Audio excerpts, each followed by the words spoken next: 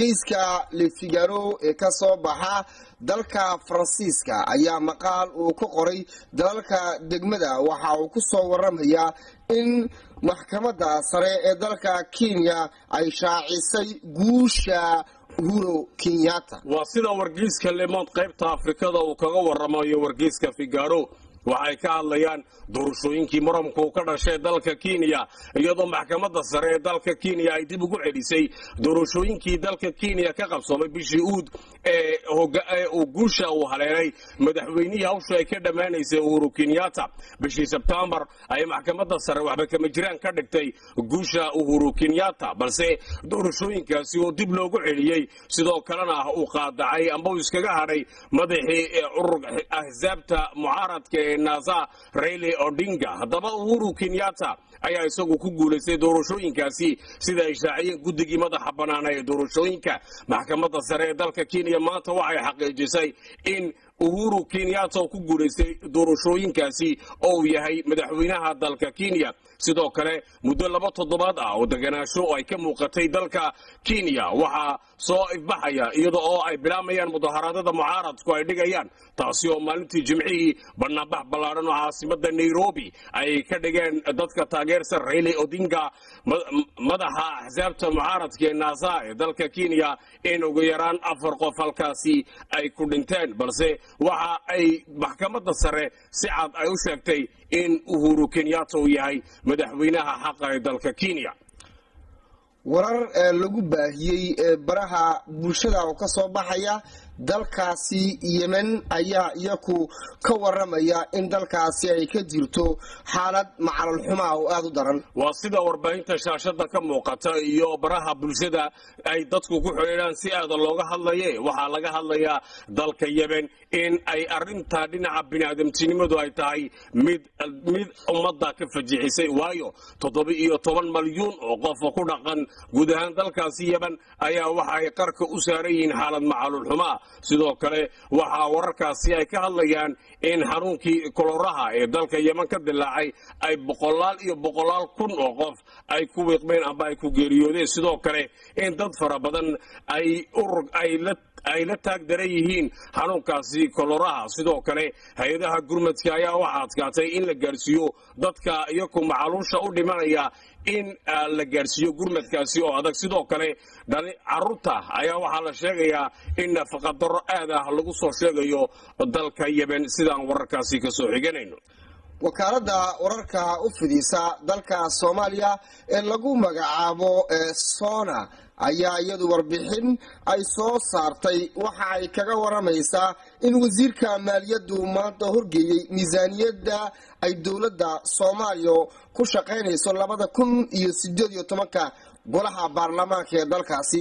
Waa sida aan ka soo xiganay wakaalada soona. Waxa ay ka hadashay in doctor cabdiraxmaan ducaali bayley waa wasiirka maaliyadda iyo dhaqaalaha ee dalka soomaaliya waxaa maanta uu horgeynayaa golaha baarlamaanka ee dalka soomaaliya miisaaniyadda dowladda soomaaliya ay ku howlgalayso sanadka iyada oo doctor cabdiraxmaan ducaali bayley wasiirka dhaqaalaha iyo maaliyadda ee dalka soomaaliya uu sheegay in horey ay u ansixiyeen golaha xukuumadda ee dowladda soomaaliya miisaaniyadaasi ay ku howlgalayso dowladdu sanadka soo socda ee baarlamaanka dowladda soomaaliya ayaana ka baaraandegaya maanta arrinta ah miisaaniyadaasi uu horgeeyey wasiirka dhaqaalaha iyo maaliyadda ee dalka soomaaliya. Intaas ayaa waxay ugu dambaysay qaybtii u horeysay ee barnaamijka weriga waano ee dhinaca wararka iyo wargeysada oo weriye naasir ibraahim si ballaaran uu nogala qayb qaatay. Aad iyo aad baad run ahaan mahadsan tahay naasir sidoo kale weriye mustafa xasan.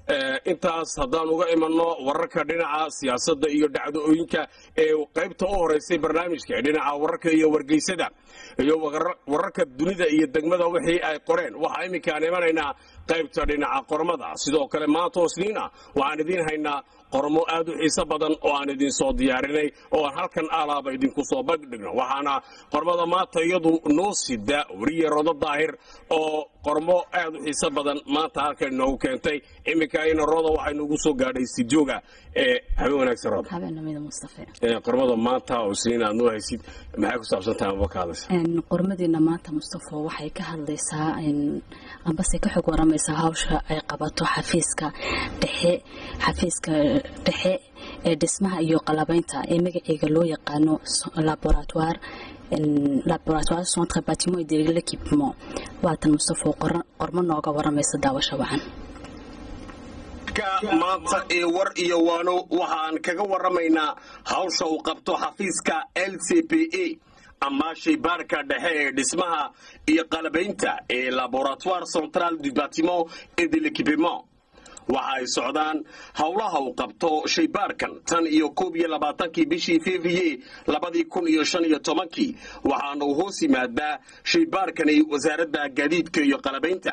Shaybaarkan ayaa howlaha uu qabto waxa ay tahay in uu hubiyo dhaqdhaqaaqyada dhismayowga kala duwan ee waddooyinka iyo dhismayowga madanigaba waxaa shaybaarkani dhexe ee dhismaha iyo qalabaynta lagu sameeyey dib u habayn xaruntiisa dhexe tan iyo wakhtigii la asaasay waxa uu shaybaarkani l c p a uu garab siiyaa sidii ay dadku u dhisan lahaayeen guryo adag oo taya leh la iskuna hadlayn karo galistooda waxaa sidoo kale uu shaybaarka l c p a uu xukuumadda ku garab galaa mashaariicda kala duwan ee ka socda dalkeenna ee sida dhismaha waddooyin tayo leh iyo marsooyinka kala duwan iyo dhabahaba waxaa kale oo shaybaarka l c p a hubiya qalabka dhismaha ee kala duwan waxaana shaybaarkani ka howlgala koox joogto ah oo anjineero ah oo diyaar u ah wax ka qabashada iyo kormeerka dhammaan dhismayowga ka socda dalkeenna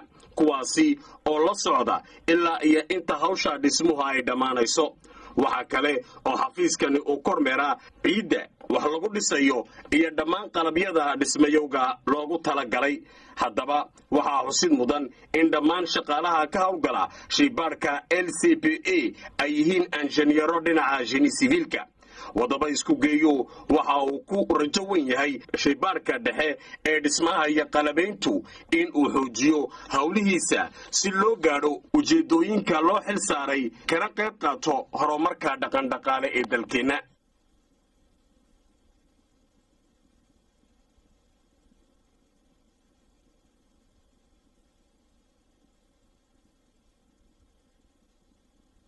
qormadaasi aadka u xiiso badan u xiisaha badan ayaan ka soo diyaarinay.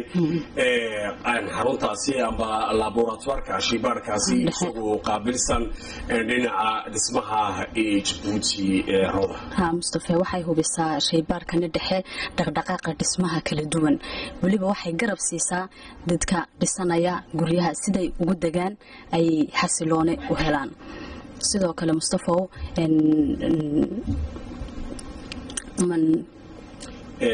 waxa aan xusid mudan rooda oo aan ka arkaynaa laboratoirkaasi in iyaku ay ka howlgalayaan anjineero qof kaste oo amba xubin kaste oo ka tirsan laboratoirkaasi ay yihiin anjineero iyaku ku takhasusay dhinaca jini siviilka inay yihiin maxaa kaloo rooda raacin waxaa kaloo ka howlgala mustafo dhalinyar fara badan oo anjineero iyo jeni siviilka iskugu jira oo marsadani ka howlgala waxaa muuqata oo ay tahay ujeedada iyadu ka dambaysa laboratoirkan iyado oo dalkeenu uu si ku soo tiro badanayaan guryaha iyo dhismayowga. In haddaba ay lagama maarmaan noqotay in laboratoirkaasi dhexe ee dhismaha iyo qalabaynta la hirgesho taasi oo sidaan qormada warooda ku soo sheegnay iyagoo ay u qaabilsaneen oo keliya guryaha balse dhinaca waddooyinka ay yihiin kuwa hubiya